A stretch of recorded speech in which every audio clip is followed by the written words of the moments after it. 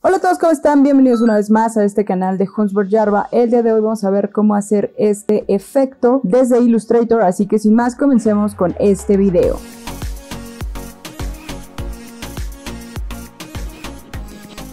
Pues bien, lo primero que vamos a hacer es generar un círculo.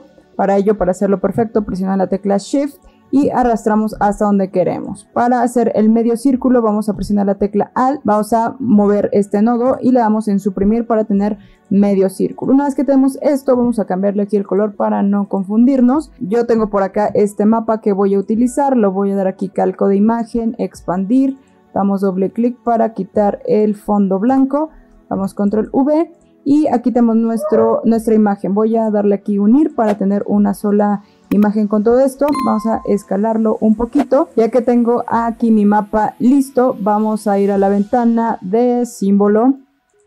La abrimos y seleccionando nuestro mapa lo arrastramos hacia la ventana de símbolo. Aquí le voy a poner mapa para tenerlo ahí contemplado. Damos en OK. Ya está aquí guardado y lo podemos eliminar de la previsualización.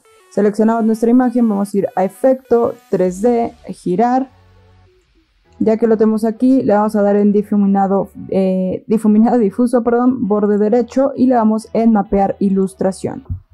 Una vez abierta esta ventana, le damos en donde dice símbolo y seleccionamos el de mapa que acabamos de realizar. Vamos a, aquí donde dice cambiar escala para ajustar, le damos aquí en OK y nosotros desde aquí podemos modificar para ver nuestro mapa. Le vamos a dar aquí previsualizar para que ustedes lo puedan ver y si nosotros lo giramos en automático se gira nuestro mapa. Claramente se vería mejor con un color blanco. Vamos a darle aquí OK. Si yo entro directamente al símbolo del mapa, desde aquí yo podría cambiarle el color, que es lo que va a hacer para que se vea mejor en nuestro eh, mapita. Y listo. Ahí estaría nuestro efecto. De igual forma, desde aquí seleccionando la imagen, ustedes pueden cambiar el color de su diseño por ejemplo hay un verde y listo, pues ya tendrán ahí este efecto 3D que pueden llevar a cabo para cualquier otro proyecto. Sin más, espero que les haya servido. Cualquier duda, comentario o sugerencia ya saben en la parte de comentarios. Y recuerden que pueden suscribirse y seguirnos en nuestras redes sociales para recibir nuestros últimos videos. De nuestra parte sería todo y nos vemos en el próximo video. Un saludo, que estén de lo mejor.